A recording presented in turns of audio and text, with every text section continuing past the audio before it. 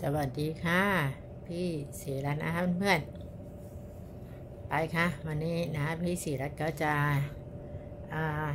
เดินทางเนาะไปเที่ยวเมืองมินิกนะที่เยอรมันนะคะเพื่อนๆพี่ศิรัตน์ก็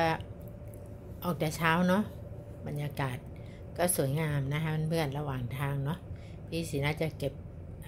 ภาพสวยๆนะคะระหว่างทางเนาะ มาให้เพื่อนๆดูนะคะพอดี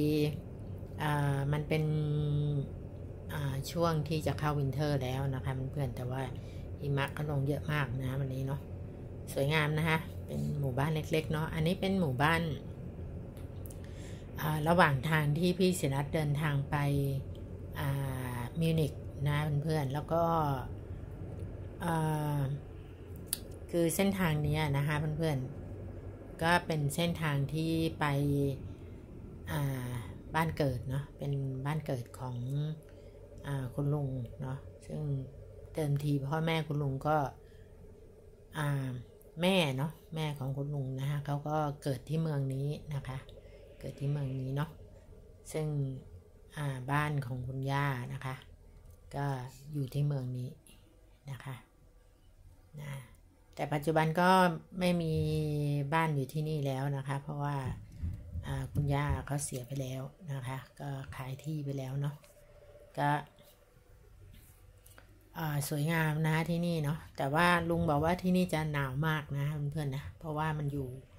บนเขาเนาะอยู่บนเขา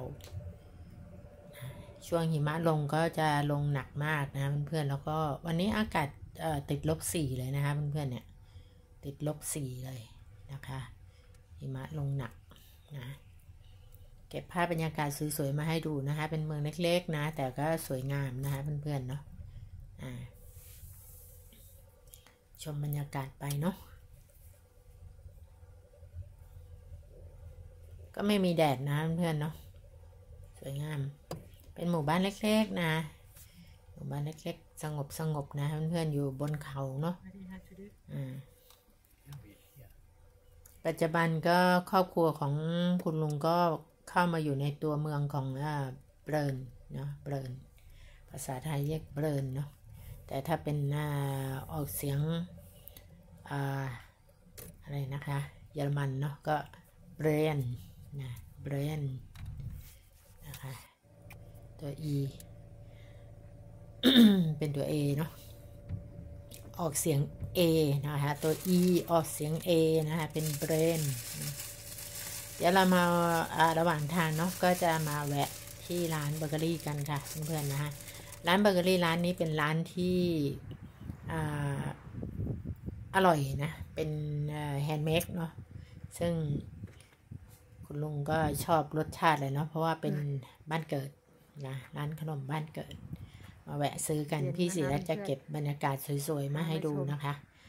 ก็เป็นร้านเล็กๆนะคะ แต่อยู่ในอยู่บนเขาเนาะ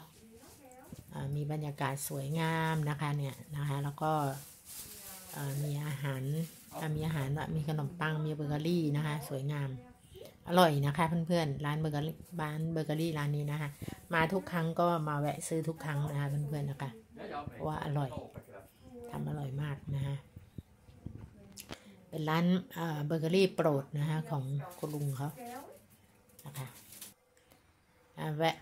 ถ่ายรูปกันหน่อยนะคะเพื่อนๆก่อนไปเนาะถ่ายรูปกับกองหิมะอ่าไปแล้วนะคะ ไว้พบกันในคลิปถัดไปนะคะเพื่อนๆ